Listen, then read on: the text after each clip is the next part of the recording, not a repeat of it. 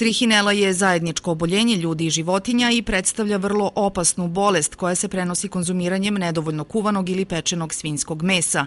Dejan Bogdanović je kao 22-godišnji mladić obole od trihinele. Zbog zamaskiranih simptoma dugo nije znao od čega boluje, pa je u početku lečen od bronhitisa. Kako se zdravlje nije popravljalo, odlučio je da ide na detaljnija ispitivanja. Tišli smo KBC Kagovac da snimamo glavu i imao je što je bilo, upala mozga. I ja sam, eto, tu je, a već je do, došlo do nekog e, krajnjeg stadijuma gde sam ja skroz ma, izmalaksao, gde već sam legao u postelju, znači nisam bio na, nisam mogao da budem u, na nogama. Kako ni posle lečenja upale mozga nije bilo napretka, Bogdanović je ispitivanja nastavio na Vojnomedicinskoj akademiji u Beogradu malo su lutali, znate, i eto, tek posle 20 dana su oni od tamo ustanovili i nekako da sam ja zaražen parazitom trihinela. I eto, da nisam otišao tamo sreća, eto, šta znam. Klinička slika trihinele zavisi od broja larvi koje su dospele u ljudski organizam. Zbog toga su i simptomi različiti, ali se uglavnom manifestuju bolovima u mišićima i otokom lica. Često ljudi kažu ne može se razvijati u mozgu, ne može se razvijati u srcu i to je tačno.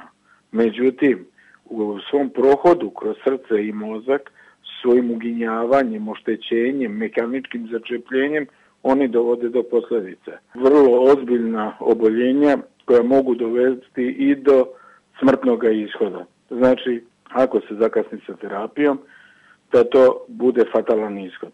Sve komplikacije i eventualne zaraze i epidemije mogu da budu sprečene redovnom kontrolom svinskog mesa. Ne moramo čekati samo da se ovako nešto desi, znači kao slučaj u Čajetini, neka nam praksa bude da svako zaklano prase ili svinja ipak bude pregledana, jer ne mora da znači da jedna pregledana svinja u domaćinstvu da, je pokazati da su ostale svinje u zapatu zdrave.